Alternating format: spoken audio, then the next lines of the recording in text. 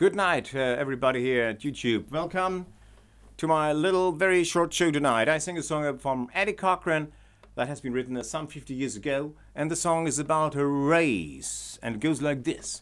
So, well, a country boy named Shorty and a city boy named Ben had to prove he could run the fastest to win Miss Lucy's hand.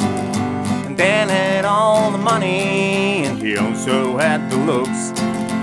Shorty must have had something, boys, which can be found in books. Cut across, Shorty, Shorty, cut across. That's what Miss Lucy said. Cut across, Shorty, Shorty, cut across.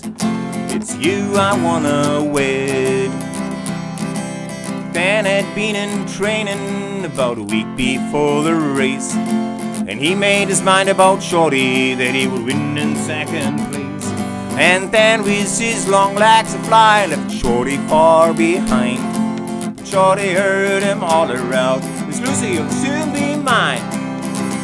Cut across, Shorty, Shorty, cut across. Mm, that's what Miss Lucy said. Cut across, Shorty, Shorty, cut across. It's you I wanna wed. Shorty wasn't worried.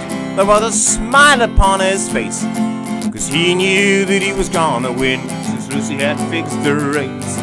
And just like that old story about the turtle and the hare, when Dan crossed over the finish line, he found Shorty waiting there.